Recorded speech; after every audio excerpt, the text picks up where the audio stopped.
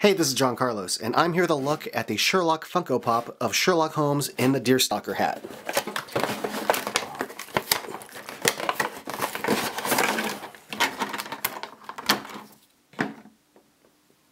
There are a total of five Sherlock Holmes Funko Pops. Two basic ones, this one, which is like this body and a normal head, and then the black suit with the white shirt holding the violin, and that one has two variants, and then this one has, well, this variant with the hat. Um, I didn't get the regular one of this because I was holding out for this one with the hat because I thought the hat was unique, added little thing, and I, am really glad I waited and I managed to find one at Barnes & Noble.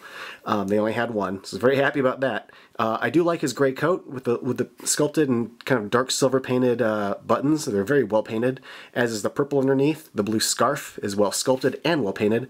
If you look at the separation between like the coat and like the little purple jacket underneath and the black gloves. It's it's all very clean paint. It all separates very well.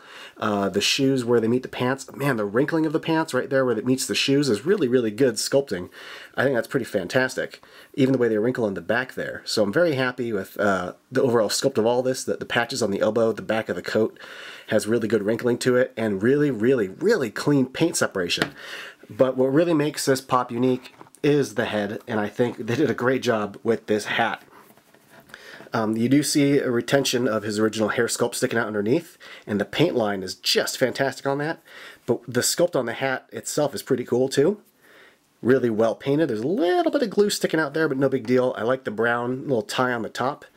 That has some really clean paint too, as does underneath the brim of the hat, his hair sticking out uh, is really, really good. Where it meets the eyebrows is good, and the eyeballs really clean. So overall, this is a very clean pop. Uh, paint job is impeccable, I think. The sculpt is good as far as the details of the coat. I love the hat. I love the way it looks. I love this pop. I think it's great. Thanks for watching, folks.